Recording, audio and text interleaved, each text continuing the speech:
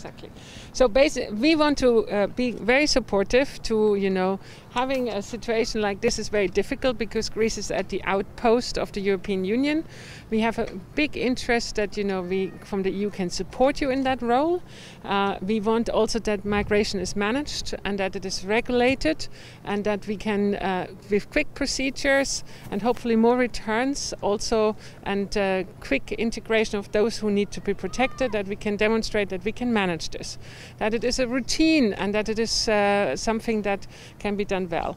Uh, therefore, the President of the European Commission would very much like us to, and has asked me to be here to um, be present for the EU. And I have been here three weeks ago. Today, it is a very different camp.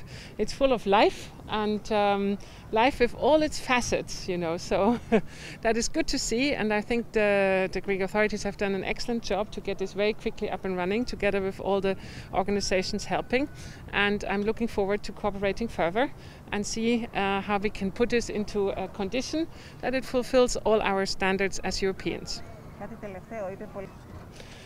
Uh, well, we are very engaged already. Uh, we are here as Commission, but we are also here with the European Asylum Support Office that helps the Greek Asylum Service to work on asylum uh, procedures. And we're also here with the border agency of the European Union called Frontex. We're continuing to be uh, investing in this and continue to be here at your side.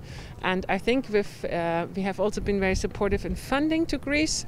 So we will be funding uh, a, a new reception capacity and we will work together to make it to the standards that we can be proud of as Europeans.